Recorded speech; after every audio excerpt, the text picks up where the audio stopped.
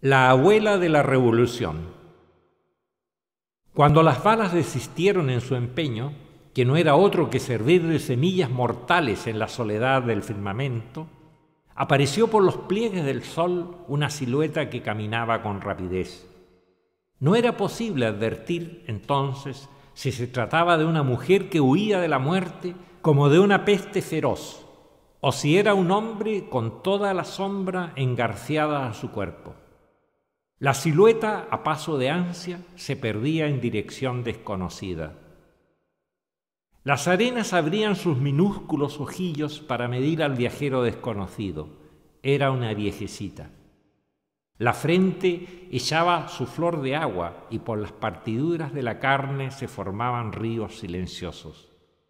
El sudor recogía el panorama como un ojo. Crecía una sensación de sales por todos los sitios de la pampa en el suelo negreaban grandes bultos, los muertos recién instalados en su eternidad surcida de parias. La viejecita marcha apremiada. La pampa fue una página de rayas oscuras y de estertores agudos, y en los charcos de sangre hubo regatas de pólvora. La oficina Coruña muestra sus labios hinchados de blasfemias y lamentos. Allá masculla la viejecita. Y sus pasos se encaminan veloces sobre un montón de cadáveres. La tarde acomoda sus matices. La viejecita llega a donde la muerte guarda quince sacos de provisiones. Pobrecitos, reza casi la viandante. Sus manos se alzan como deteniendo la luz y en el piso aterrado los obreros deciden su noviciado sombrío. Algunos muestran la frente y es una muralla con un solo agujero. Allí empieza el túnel de la injusticia. Otros ostentan entre el vello del pecho dos o tres hoyos que todavía expulsan la sangre que el porvenir se apresura en cobrar. El viento bate la limosna de unos puñados de tierra. La viejecita se arrodilla. Malditos. Sus manos bajan los párpados de Humberto Recoba. Los asesinados que se quedan con los ojos abiertos son los más terribles. Estos no olvidan por los siglos el rostro que les empujó hasta el confín de las cenizas. Humberto Recoba es de aquellos.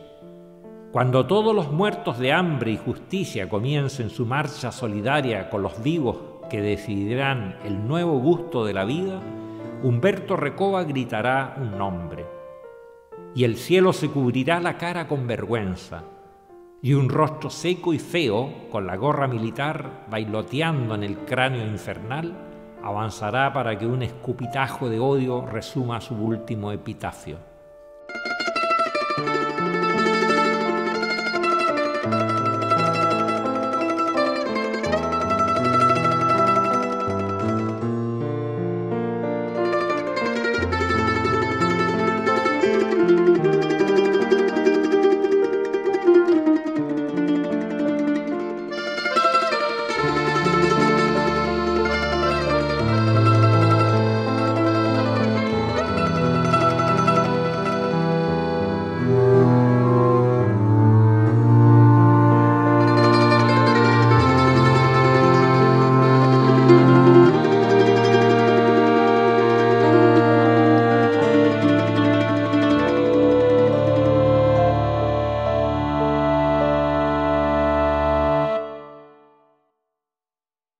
También le tocó al Lucho.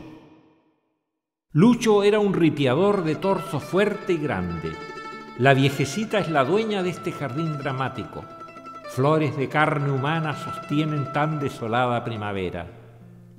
El viento aquí no coge polen, pero si la maldición es un polen necesario, no cabe duda que la toma y se encarga de repartirle por el mundo. Dos manos arrugadas y maternales cierran los párpados de los muertos en esta masacre.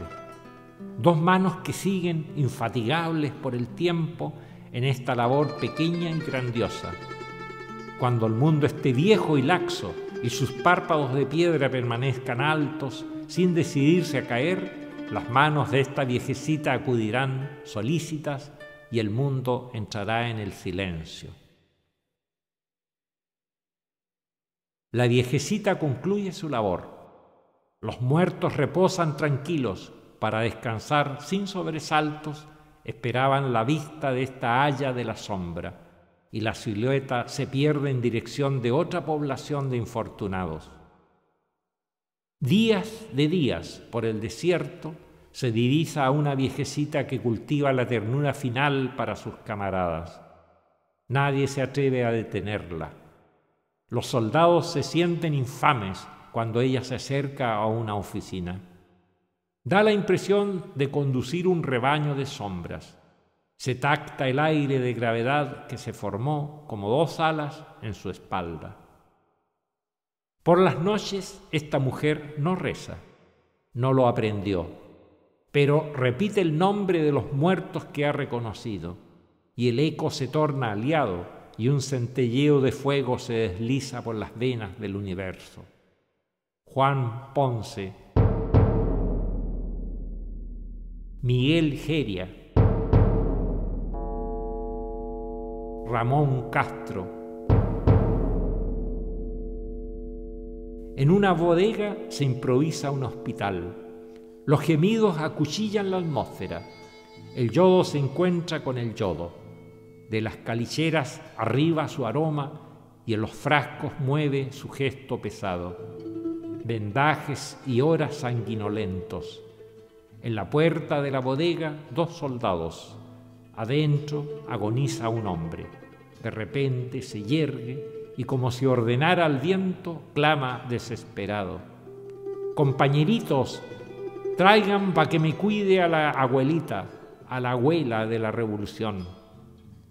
Jesús Godoy y Nicasio Puelma comprenden de quién se trata. Nadie la llamó así antes a la viejecita. Mas, ¿qué importa? Un moribundo la bautizó de este modo como secreteado desde la epopeya.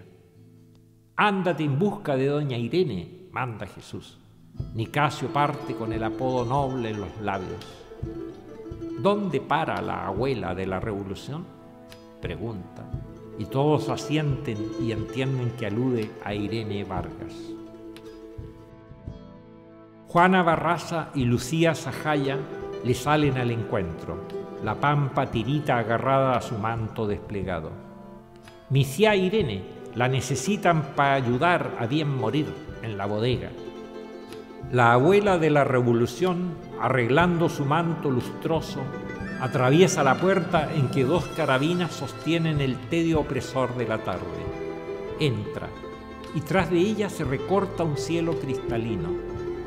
Hija de la brisa, Irene Vargas se allega al moribundo y sus manos le ponen una venda cordial a su delirio.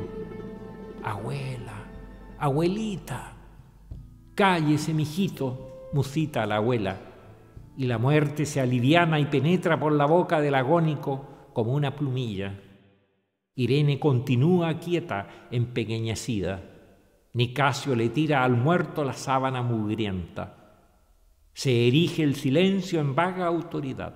Las moscas giran en sus tornos de asco. Irene sale. En la puerta mira despectivamente las carabinas y por primera vez las armas quisieran doblarse en un avergonzado desmayo. La abuela de la revolución respira fatigosamente. Sus nietecillos sonríen dentro del cobre y se asoman cantando del fondo mismo del salitre.